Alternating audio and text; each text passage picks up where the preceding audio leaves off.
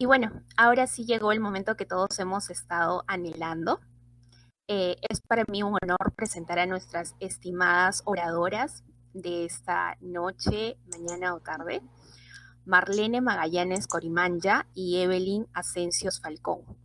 Marlene es doctora en Ciencias de la Salud por la Universidad Nacional Mayor de San Marcos, magíster en Salud Pública por la Universidad Peruana Cayetano Heredia, especialista en Estadística para la Investigación por la Universidad Cayetano Heredia, licenciada en Obstetricia de la Universidad San Marcos, investigadora calificada por Concitec, ha formado parte del equipo técnico de la Dirección General de Promoción de la Salud y ha sido jefa del Servicio de Obstetricia del Hospital Nacional Hipólito Unanue. Actualmente eh, realiza labor asistencial en el Departamento de Ginecobstetricia del mismo hospital y es docente e investigadora de pre y posgrado en la Universidad de San Martín de Porres y docente del posgrado en Salud Pública de la Universidad César Vallejo. Bienvenida Marlene. Eh, Evelyn. Gracias. Evelyn es magíster en salud pública y reproductiva por la Universidad de San Martín de Porres, licenciada en obstetricia en la misma casa de estudios, docente de la Facultad de Obstetricia y Enfermería en la Universidad San Martín de Porres, investigadora en la línea de investigación de salud perinatal en el Instituto de Investigación de la Facultad de Obstetricia y Enfermería de la Universidad San Martín de Porres, divulgadora científica y coordinadora del programa FOE Café Conciencia. Eh, gestora de la innovación en la Universidad San Martín de Porres, consultora en temas de propiedad intelectual. Ella formó parte del equipo de trabajo del Colegio de Obstetras del Perú durante el periodo 2013 al 2016. Y bueno, es para nosotros un gusto eh, tenerlas aquí como oradoras, presentadoras en esta conferencia. Y ahora eh, voy a cederle el pase a Marlene para que pueda iniciar con la presentación. Gracias. Buenas noches con todas y todos. Recibo un cordial saludo de la Facultad de Obstetricia y Enfermería de la Universidad San Martín de Porres, em, especialmente de la Oficina de Investigación de dicha facultad, de la cual formamos parte Evelyn y yo. Bien, vamos a presentar la investigación eh, titulada Nacer en otro país, Salud Perinatal y Migración en Lima, eh, presentado por quien habla y por la colega Evelyn Asensio Falcón. Bien, el proceso de migración es un hecho histórico, ¿no? Se dice que desde el comienzo de la humanidad el hombre ha migrado de un lugar a otro por distintas razones, por temas climáticos, por guerras, por diferentes situaciones y ha sido un hecho constante, digamos. Eh, desde el inicio de la humanidad. En nuestro país, Perú, eh, nosotros tenemos una historia de migración eh, pequeña en algunos momentos, ¿no? y fue básicamente de migración europea en algunos momentos de nuestra historia. Sin embargo, en los últimos años, Perú ha sido un país de gente que migra, ¿no? No, de no país receptor. Esto fue así hasta el año 2016 a partir de ese año eh, empezamos a tener migración, eh, digamos que fue por la coyuntura del tema político en Venezuela, ¿no? Y bueno, eh, vamos a ver que la Organización Internacional para las Migraciones nos da diferentes definiciones, ¿no? Y cuando hablamos de migración estamos hablando de movimiento de población hacia el territorio de otro estado o dentro del mismo territorio. Y por eso tenemos lo que es migración externa e, y, migración interna, ¿no? Nuestro país conoce desde los años 80 eh, principalmente la migración interna, que, sabemos que fue básicamente por el tema del terrorismo, por lo cual mucha gente de las, del interior del país migró hacia la capital. Sin embargo, la migración externa, ¿no? Como les comentaba, recién la estamos viendo a partir del 2016, ¿no? Migrante es la persona y sus familias que van de otro país u otra región. Refugiados son las personas que huyen de conflictos armados o eh, persecución. Y se conoce como refugiados inmigrantes al movimiento de personas en donde, se, donde se cree que existe de ambos grupos. ¿no? Eh, la ONU eh, da, digamos, unos estudios anuales sobre migración y reportaba eh, a inicios de este siglo, en el año 2000, alrededor de 170 millones de personas migrantes en el mundo. Eh, la última información en, el reporte que hicieron en el año 2020, hicieron un corte hasta junio del 2019, donde se mencionaba que había 272 millones de personas en el mundo que residen en un país distinto al de su nacimiento. Es decir, en 19 años se ha, habido un incremento de 100 millones, ¿no? lo cual es bastante como podemos considerar. En el mundo, digamos, la migración básicamente eh, latinoamericana ha ido sur-norte, ¿no? En los países de eh, América del Norte, eh, países europeos, ¿no? Y nuestro país, como habíamos mencionado, ha sido un país donde salía gente, donde emigraba gente, ¿no? Sin embargo, esta situación ha cambiado en los últimos años y en Latinoamérica tenemos Colombia como el primer país que recibe, el país receptor de migrantes venezolanos y nuestro país está en el segundo lugar, ¿no? Y se habla que actualmente hay más de 800 mil venezolanos en territorio peruano. Esta migración tiene diferentes caras, ¿no? No todos los migrantes, digamos, planifican, no todos los migrantes salen en condiciones óptimas, ¿no? Y ni lo hacen en forma programada. Muchas veces eh, se hace por un, tema, digamos, de, de, que no hay otra opción, ¿no? Y principalmente lo que pasó en Perú, más o menos eh, a mediados del 2018, por la gran migración que había, el país tomó políticas eh, de cerrar fronteras, y puso plazos, ¿no? En los cuales eh, para poder entrar al país, eh, muchos migrantes salieron en forma inesperada de Venezuela. Esto ocasiona, esta, esta, migración inesperada o no planificada puede tener peligros, como son el tráfico de migrantes, ¿no? Nosotros conocemos, por ejemplo, en América del Norte, con el camino de México a América del Norte, lo que sucedía, Acá en nuestro país tal vez no se conoce mucho al respecto, pero se sabe que hay gente que eh, trafica con las personas, que al pasar ilegalmente por la frontera puede haber justamente ese tipo de peligros, ¿no? Violencia, inclusive violencia sexual, trastornos psicológicos, eh, suspensión de tratamientos médicos para las personas que están emigrando eh, o automedicación por el poco acceso justamente a servicios de salud menor acceso también a anticoncepción y en general a todos los servicios de salud. En el Perú, el Instituto eh, de Estadística, junto con el apoyo de la Organización Internacional para las Migraciones, el Banco Mundial, la UNFA eh, y UNICEF, hizo un estudio en el año 2018 que es la encuesta de población venezolana, en la cual solo un tercio de las mujeres de 15 años a más accedieron a servicios de salud sexual y reproductiva y de estas 27.2% accedió a un método anticonceptivo y solo un 2,8% a pruebas diagnósticas eh, de ITS, de, infecciones de transmisión sexual. Asimismo, se vio que prácticamente la mitad el, de las, el 47.6% de mujeres, eh, o sea, de migrantes eran mujeres, prácticamente la mitad eran mujeres, ¿no? Por lo cual estamos viendo que eh, merecen atención todo lo referente a la salud sexual y reproductiva.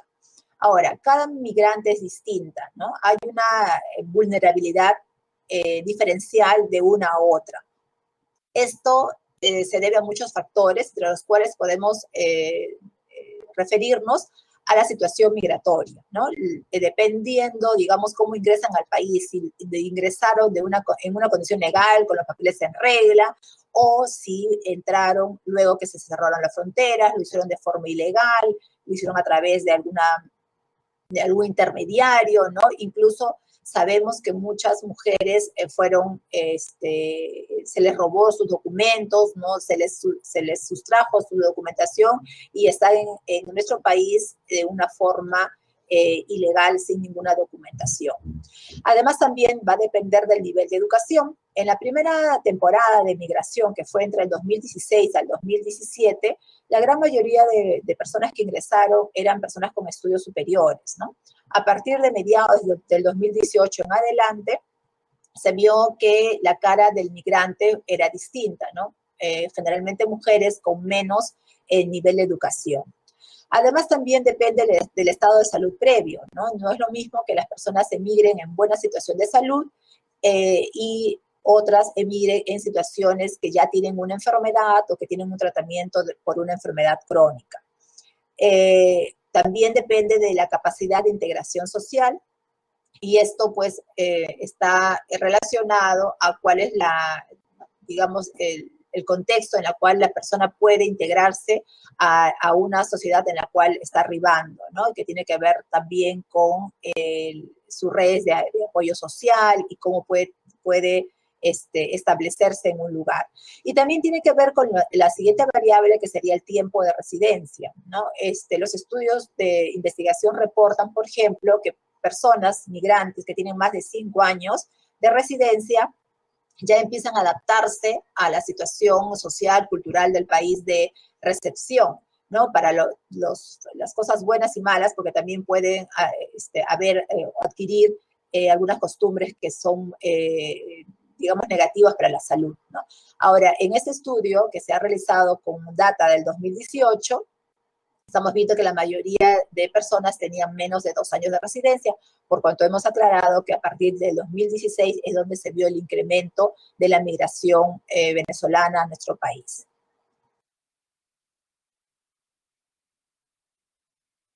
Bien, eh, ¿qué dicen las investigaciones respecto a los resultados perinatales para las mujeres migrantes? ¿no? Eh, hay estudios diversos, algunos a favor y otros en contra, que los vamos a referir en este momento. La condición de migrante puede ser un indicador de vulnerabilidad e incluso se menciona que para los diferentes estudios referentes a la salud, no, no solamente salud materno-perinatal, sino la salud en general, se debe considerar la condición de migración como un eh, factor transversal, digamos, que puede modificar ciertos estados de salud. Bueno, la bibliografía nos, nos comenta que eh, mujeres migrantes tienen niños con más bajo peso al nacer, pueden tener incrementos de partos prematuro, mayor mortalidad perinatal, mayores malformaciones congénitas, mayores partos por cesárea, mayor paridad. Sin embargo, también hay bibliografía que nos refiere que eh, al revés, ¿no? En otros estudios se ha visto que la condición de migrante más bien es como un factor protector ah, para las mujeres y se vio que esas mujeres tienen eh, eh, menores niños con bajo peso en nacer, menores hijos con pequeños para la edad gestacional y en general resultados perinatales similares o incluso favorables en algunas variables. Y esto se explicaría con el término que ya se ha acuñado también, que se habla del efecto de la migrante saludable, que significa que las personas que migran generalmente son personas que tienen una situación de salud mejor que la del promedio del lugar del país de, receptor. Por eso se vería que eh, estas mujeres tienen resultados similares o incluso en algunas variables mejores. Bien, el objetivo de la investigación eh, fue establecer la relación de los resultados perinatales adversos en nacionales, en mujeres nacionales inmigrantes. El estudio eh, tiene un diseño metodológico este, referido a un estudio cuantitativo de tipo observacional, retrospectivo, analítico y correlacional. La población de estudio fueron 484.533 madres de recién nacidos únicos registrados en el sistema de registros de hechos vitales del año 2018, los cuales estaban constituidos por 476.471 mujeres peruanas y 8.062 mujeres migrantes. Los criterios de inclusión fueron mujeres cuyos datos de su parto fueron registrados en la base de datos de este registro y sus recién nacidos cuyos datos también estén consignados en este registro. Y el criterio de exclusión fueron mujeres que tuvieron más de un recién nacido, es decir, mujeres con embarazos múltiples, por cuanto esto se puede relacionar al bajo peso al nacer y a la prematuridad, que fueron variables estudiadas en esta investigación. Eh, en cuanto a la técnica de recolección de datos, podríamos eh, contarles que se hizo una solicitud al Ministerio de Salud eh, a través del sistema de atenciones de solicitudes de acceso a la información pública. Eh, ¿Por qué? esta base de datos fue iniciada por la RENIEC, eh, pero tiene varias variables de salud y todas esas variables van al, al MINSA, ¿no? Para un estudio que ellos hacen y publican en su página web, en la cual cualquier persona puede ingresar y puede ver, por ejemplo, cuántos partos prematuros hubo el año pasado, cuántos eh, niños mayores de 4.000 gramos nacieron, etcétera. Pero lo que nosotros necesitábamos era la base de datos en forma individual, ¿no? Para poder hacer el estudio. Se hizo el pedido, se aprobó la solicitud y la Oficina de Gestión de la Información del MINSA nos entregó los datos. ¿Qué se hizo luego? Se identificaron los criterios de inclusión y exclusión, se construyó una subbase de datos, se realizó un control de calidad, porque sí habían eh, en algunos casos variables que estaban, que eran incoherentes, ¿no? O que eh, variables que faltaban, ¿no? Y se hizo este control de calidad para mejorar y poder eh, trabajar con una base limpia. Se ordenó, codificó y recodificaron las variables en el programa estadístico de CPS. Se hizo un primer análisis descriptivo de las características sociodemográficas de los participantes. Y se hizo un análisis luego, un análisis bivariado eh, con chi cuadrado para las variables cualitativas y t students para las variables cuantitativas. Eh, el estudio fue aprobado por el Comité de Ética de la Universidad. Bien, hasta aquí eh, estamos, hemos conversado sobre todo lo que es la parte metodológica del estudio. Cualquier otro dato podemos aclararlo más adelante y le voy a dar el pase a mi colega Evelyn que va a continuar con los resultados de la investigación. Bien, Marlene, muchas gracias. Sí, eh, bien, vamos a compartir en este momento los resultados de la investigación. Eh, en nuestra primera tabla, nosotros tenemos eh, las características sociodemográficas y dentro de ellas hemos considerado la edad, el grado de instrucción y también la ocupación. Aquí, como este, es evidente, ambos grupos, tanto las nacionales como las migrantes, tienen un promedio de edad similar.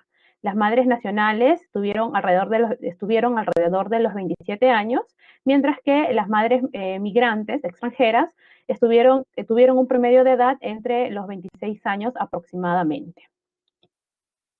Bien, no tengo el control para pasar la siguiente diapositiva, por favor. Ok, gracias. Bien, eh, como, como, el segundo apartado, en, cuanto al grado de instrucción, bien, en cuanto al grado de instrucción, las madres eh, nacionales refirieron en su gran mayoría eh, cursar la secundaria completa y estuvieron representadas por un 34,7%, mientras que las madres migrantes fueron las que dijeron que en su mayoría habían tenido un grado de instrucción superior y estuvieron representadas por un 40%. Bien, en cuanto a la ocupación, ambos grupos, tanto madres nacionales como madres migrantes, refirieron que eran amas de casa y estas estuvieron representadas eh, por un 84% y un 88,30% respectivamente. Bien, eh, para realizar el análisis eh, de relación entre variables cualitativas, hemos utilizado nosotros la prueba estadística de chi cuadrado. En nuestra segunda tabla, nosotros vamos a expresar los resultados perinatales adversos maternos y en ellos nosotros hemos considerado la duración del embarazo y la condición del parto. Para la duración del embarazo lo hemos subdividido en, embarazos pretérmino, embarazos eh, a término y embarazos posttérmino. Como es evidente y pueden ustedes también observar en el cuadro, la gran mayoría eh, de, tanto de madres nacionales como de madres migrantes han tenido partos a término, ¿no? En la gran mayoría. Sin embargo, eh, nosotros hemos concentrado nuestra atención sobre eh, los resultados que constituyen a los embarazos pretérmino. Son de, son de bastante interés para nosotros debido al riesgo que constituye para, para la madre y el recién nacido sobre todo en el recién nacido, ¿verdad? Entonces, eh, cabe resaltar acá los porcentajes, ¿no? Fueron los que nos llamaron la atención. En este caso fueron las migrantes, las madres migrantes quienes tuvieron un embarazo pretérmino y estuvieron representados con un 7,1% respecto a las madres nacionales, quienes eh, tuvieron un 5,7% de embarazos pretérminos. Luego también eh, hemos concentrado nuestra atención respecto a las cesáreas, también que es otro punto que eh, hemos, hemos analizado. Y nuevamente vemos que son las madres eh, migrantes quienes tienen un mayor porcentaje de partos por cesárea. En este caso está representado por un 43,1% respecto a las cesáreas en las madres nacionales, que estuvo representado por un 36%. Eh, ambos resultados han sido eh, estadísticamente significativos. Eso quiere decir que eh, sí se ha encontrado una relación entre em, la condición de ser migrante y los embarazos pretérmino, y asimismo también entre la condición de ser migrante y las cesáreas. Bien, para determinar si hay una diferencia significativa entre los promedios de, estos grupos, hemos utilizado nosotros eh, también la prueba estadística de Student. Y en nuestra tercera tabla, nosotras hemos em, plasmado los resultados perinatales adversos, pero en este caso de los recién nacidos, de los recién nacidos de madres nacionales y también de los recién nacidos de las madres migrantes. Hemos eh, considerado el peso de recién nacido, la talla y la edad gestacional. Si nosotros nos centramos a ver el peso del recién nacido, evidentemente vemos que el peso de recién nacido está dentro de los parámetros normales, aproximadamente entre los 3 kilos, ¿no? Entonces, eh, vemos que hasta ahí nosotros vemos que los datos están, están correctos. Sin embargo, eh, hemos encontrado una diferencia entre los, entre los pesos de los recién nacidos de las madres eh, migrantes respecto a las nacionales con 132 gramos de diferencia en contra de las madres, de los recién nacidos, de las madres migrantes. Y cuando vamos a analizar también el otro dato de edad gestacional, también estamos dentro, eh, viendo edades gestacionales que están dentro de los parámetros normales eh, aproximadamente entre las 38 semanas. Sin embargo, también hay una diferencia aproximadamente de 0,15 eh, semanas en contra también pues, de, las, de las madres, eh, en los recién nacidos de las madres migrantes. Ambos resultados, tanto el peso del recién nacido como la edad gestacional, resultaron ser estadísticamente significativos. Es decir, que también se encontró una relación entre la condición de ser migrante, el peso del recién nacido y también en la edad gestacional. Bien, eh, en cuanto a la discusión, para efectos de esta presentación, nosotras hemos tomado solamente algunos artículos del total de artículos con los que hemos discutido en nuestro trabajo. Y eh, para empezar a, evaluar esta variable, la condición del parto, en cuanto a las cesáreas, como todos bien sabemos, las cesáreas innecesarias representan un peligro para la salud de la madre y también para la salud del recién nacido. Eh, organizaciones internacionales como la Organización Mundial de la Salud em, estima que se puede esperar. Eh, un porcentaje de cesáreas entre el 10 y 15% de los partos totales. Sin embargo, nosotros eh, hemos encontrado que en ambos grupos en nuestro estudio, tanto en las madres extranjeras como en las madres nacionales, supera supera bastante este porcentaje, ¿no? Y eso también ha llamado nuestra atención. Estamos hablando de aproximadamente el 43% de cesáreas en madres extranjeras, en madres migrantes, y el 36% de cesáreas en madres nacionales. Ok, eh, sin embargo, nuestro estudio dice que eh, ha habido una relación entre eh, la nacionalidad de la madre, ¿no? Ser migrante, con las cesáreas, y un resultado similar hemos encontrado en, un estudio eh, publicado en un estudio australiano, ¿ok? en ese estudio australiano eh, también se evidenció que había, que las madres migrantes eran las que tenían eh, mayor cantidad de cesáreas respecto a las nacionales. Este estudio australiano evidentemente comparaba a las nativas australianas versus extranjeras, en este caso eran mujeres provenientes de continentes como Oceanía, Asia, África y algunas también eran migrantes de eh, países europeos. Eh, luego también tenemos otro, otro estudio, sin embargo este estudio sí muestra resultados contradictorios a los nuestros, distintos. No es un estudio eh, de Chile, ¿no? Donde demuestra eh, que eh, las madres nacionales, en este caso las chilenas, eh, habían tenido un mayor porcentaje de cesáreas respecto a las madres extranjeras. Este estudio también nos pareció interesante porque también trabaja con tres grandes bases de datos. Una de ellas se llama Nacer en Chile, es de donde han tomado ellos eh, los datos de salud materno-perinatal para su estudio. Luego tienen otros dos, este, fuentes de datos también grandes, pero es de, es de otro tema ya. Luego, eh, también eh, vamos a compartir con ustedes en cuanto a la, duración del embarazo, ¿no? El, embarazo pretérmino que había llamado nuestra atención, donde hemos fijado nosotras nuestra, nuestra atención. Eh, como bien sabemos, un embarazo pretérmino nos dice mucho del estado de salud materno y también es un predictor para la salud del recién nacido, ¿no? Entonces es importante fijar nuestra atención ahí. En cuanto a los resultados de nuestro estudio, encontramos eh, relación entre los embarazos pretérmino y eh, la condición de ser migrante.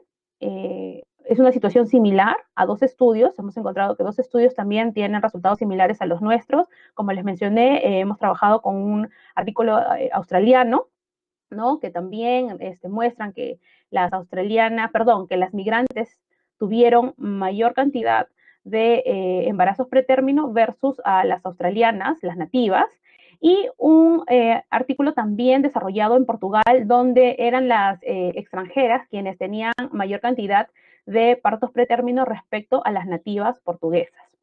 Luego también tenemos un estudio chileno, es distinto al que les mencioné anteriormente. Este estudio chileno eh, muestra datos contradictorios a los nuestros. En este estudio, las nacionales evidentemente eran las chilenas, ellas em, eh, reportaron mayor cantidad de partos pretérmino y las extranjeras eh, eran las peruanas, eran peruanas extranjeras, eran este, compatriotas mías que habían, habían viajado por allá y fueron ellas las que tuvieron mayor cantidad, perdón, menor cantidad de, este, de partos pretérmino, ¿no? Entonces, es, ya son eh, un estudio que muestra datos contradictorios a los que nuestro estudio ha arrojado. Eh, también es importante que aquí, conversando con, con Marlene, también eh, empezamos a analizar este, este estudio. Este estudio fue realizado con los datos de un hospital del año 2017, en el periodo más o menos de enero y julio, ¿no? Eh, donde se comparaban a las chilenas y a las peruanas, ¿no? Y entonces dijimos, somos países de la misma región, ¿cuál puede ser la causa, ¿no? De, estos datos contradictorios. Y bueno, em, empezamos a ver, pues, ¿no? Que las migrantes, en este caso, eran peruanas, y como bien refirió Marlene, em, nosotros en los años 80 eh, o 90, más o menos, ha sido donde hemos pasado nosotros un problema muy grande como país, donde hubo eh, muchos compatriotas nuestros que salieron del país, más que migrantes, salieron huyendo del país de una situación bastante difícil, ¿no? En cambio, los migrantes actuales, los de los últimos años, son unos migrantes distintos, que probablemente aquí en este estudio sí se deje ver el efecto del migrante saludable, ¿no? Eh, luego también, eh, por último, tenemos la variable del peso de recién nacido, una variable sumamente importante ya que, como bien sabemos, em, este dato, es, el peso de recién nacido, es un índice predictor para lo que es mortalidad, eh, mortalidad infantil, ya que está relacionado eh, con por lo menos la mitad de las muertes eh, perinatales están relacionadas con el peso del recién nacido. Entonces, este, sí es bastante importante analizarlo y en nuestro estudio eh, hubo una relación entre eh, la nacionalidad de la madre y también eh, el peso del recién nacido. los estudios que tuvieron resultados similares a los nuestros fue el estudio australiano, un estudio también realizado en un hospital de San Pedro de Macorís, en República Dominicana, donde las migrantes eran haitianas, también tuvieron em, ellos que las extranjeras tenían, había una relación entre el peso del recién nacido y eh, la condición de ser migrantes. Sin embargo, también encontramos otros dos estudios, un estudio español y nuevamente el estudio de Chile, el que les acabo de comentar, donde fueron eh, esta vez las nacionales, eh, perdón, donde no, no estaba relacionado el peso del de recién nacido con el estado de migración de la madre.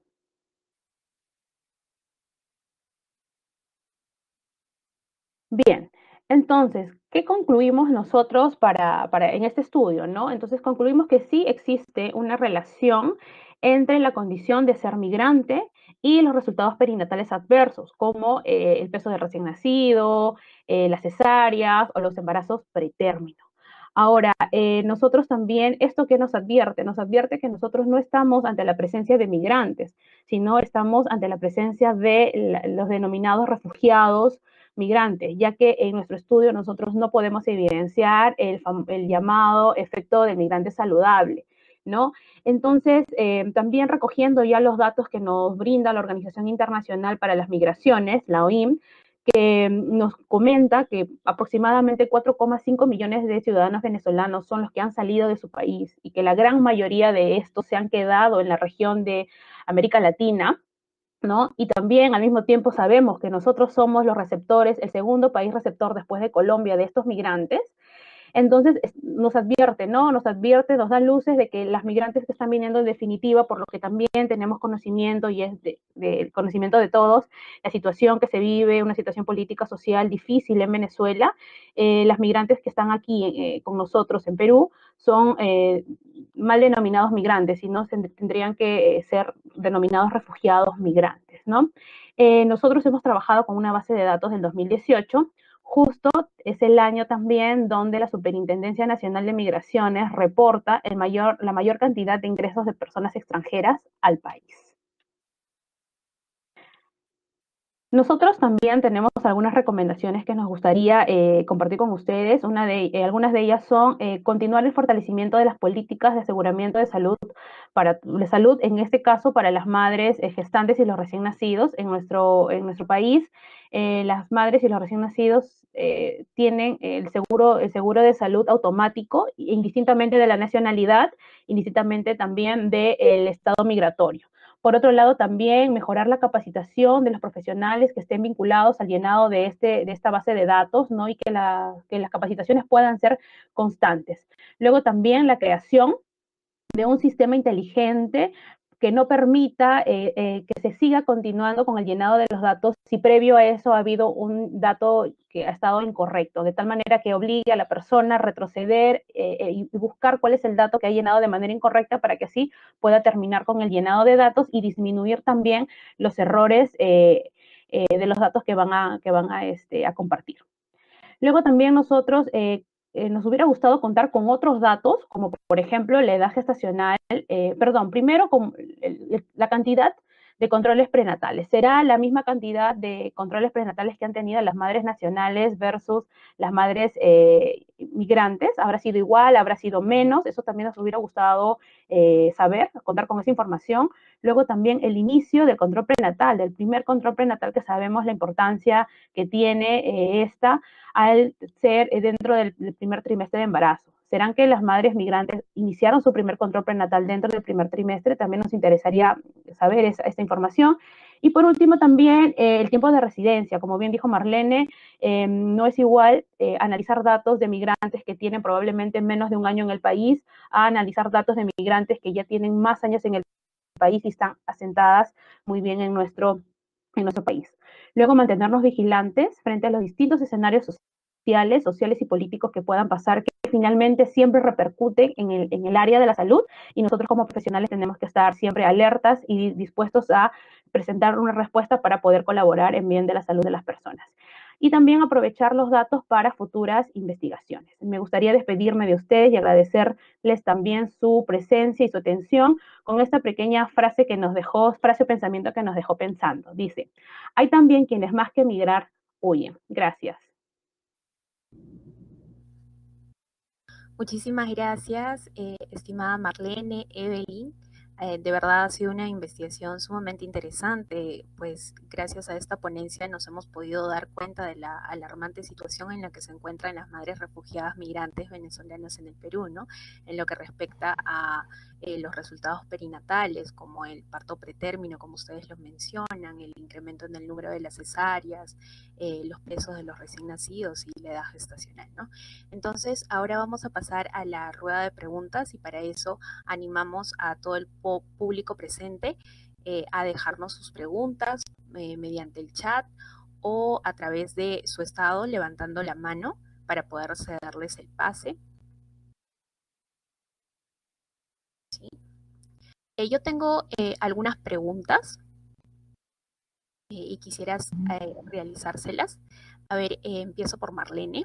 la primera pregunta es, ¿la población de mujeres venezolanas en edad fértil que se encuentran en, en nuestro país, en Perú, pueden considerarse migrantes o refugiadas? Eh, sí, estarían consideradas dentro de lo que la Organización Internacional para las Migraciones llama como refugiadas, eh, eh, refugiadas migrantes, ¿no? En las cuales eh, no se sabe exactamente, pero se sospecha que ambas características se están dando en esta población que migra.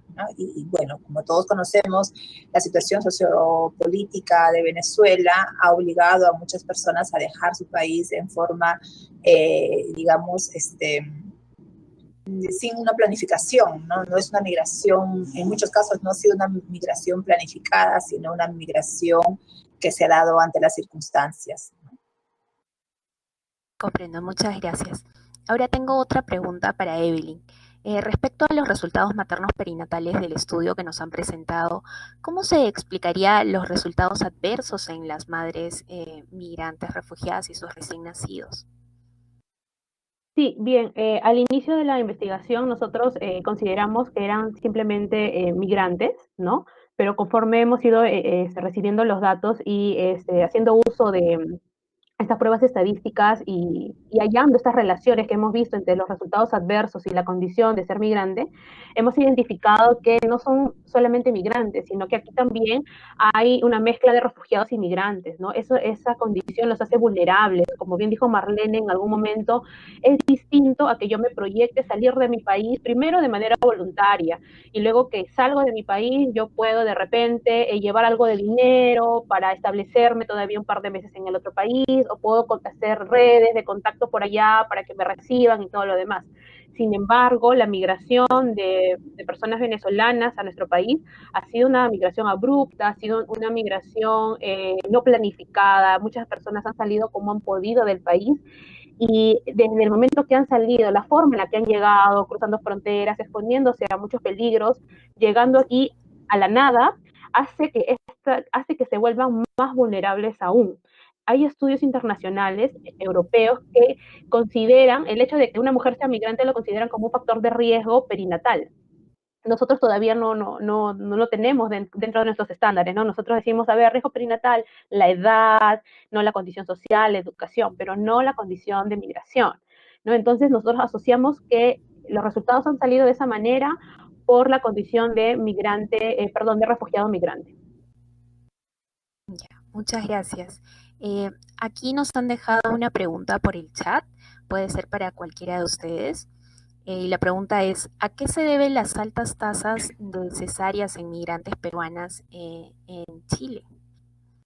Ya, sí, eso, eso es referente a, uno de los estudios que nosotros hemos, hemos tomado para, para este, para debatir, con, los cuales hemos hecho la discusión.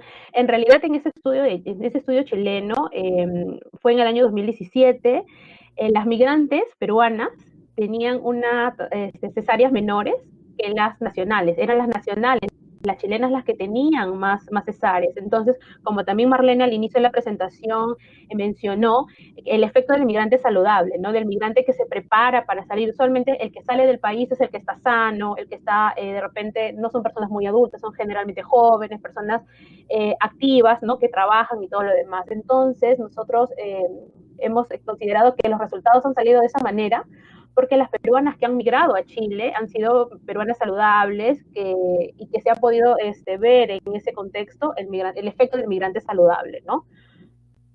Claro, además quería añadir eh, respecto a esas tasas, eh, recuerden que Chile es uno, y Brasil son uno de los países que en Latinoamérica tienen más altas tasas necesarias, ¿no? Eh, si, bien es, si bien es cierto, se ve que como dice Evelyn, en ese estudio las peruanas tenían menores tasas necesarias, pero igual las chilenas serían más que ellas, ¿no? Ahora, nosotros no podemos explicar ese, esa información porque no es parte de los resultados de nuestro estudio, pero sí también podemos decir que en nuestro país, Perú, en los últimos años ha habido un incremento alarmante de cesáreas que está duplicando lo que la OMS considera como porcentaje de cesáreas, eh, digamos, aceptables, ¿no? Lo cual eh, no solamente es nuestro país, Chile, Brasil, terriblemente, y otros países latinoamericanos, ¿no? que estamos en ese camino que como obstetras eh, deberíamos eh, bueno, es otro punto aparte, porque no, es un punto de la investigación, pero deberías, deberías tomar conciencia y trabajar este, sobre esa información, de, qué manera podemos contribuir, a disminuir las tasas necesarias en el mundo, realmente, ¿no? Que, que tienen este, porcentajes muy, muy altos, como ustedes pueden observar. Muy bien, muchas gracias. Eh, yo tengo una, unas últimas preguntas para ustedes dos, si nos alcanza el tiempo. Eh, a ver, para Evelyn, eh, ¿cuál fue la mayor dificultad para realizar este estudio y cómo ustedes pudieron superar esta dificultad? Bien, antes de hablar de la dificultad, sí me gustaría recalcar eh, que hemos tenido una buena experiencia respecto a la obtención de los datos. Usualmente para los investigadores es difícil conseguir datos, pero en esta investigación sí hemos tenido todo el apoyo de parte de, la institución en la que elaboramos para la investigación y aparte del Ministerio de Salud que sí nos entregó oportunamente los datos. Sin embargo, al recibirlo, la base de datos, nosotros vimos que sí, habían algunos errores de digitación, ¿no? Estos, estos, datos, eh, esos datos erróneos eh, constituían menos del 1%, por lo que no, era, no iban a modificar los resultados, pero sí vimos eh, algunos errores. Además, como otra dificultad, eh, también tuvimos que necesitábamos información que no encontrábamos ahí, ¿no? Por como ya lo había mencionado antes en las recomendaciones, no encontrábamos, por ejemplo, los números de controles prenatales, tampoco encontramos este cuando iniciaron su primer control prenatal, que para nosotros eh, era bastante valioso saber si había sido el primer control prenatal dentro del primer trimestre de embarazo y finalmente también en las extranjeras, eh, cuánta, cuánto tiempo tenían en el país. Eso también hubiera sido eh, muy importante tener información a la mano para profundizar más en, en la investigación. Muchísimas gracias. Entonces, agradezco a nuestras oradoras presentes, tanto a Evelyn como a Marlene. Y bueno, las invitamos también a un próximo evento los siguientes años para que eh, vuelvan a presentar alguno de esos proyectos que son sumamente interesantes. Entonces, de igual forma, también eh, agradezco a todo el público presente y gracias por su asistencia y su participación.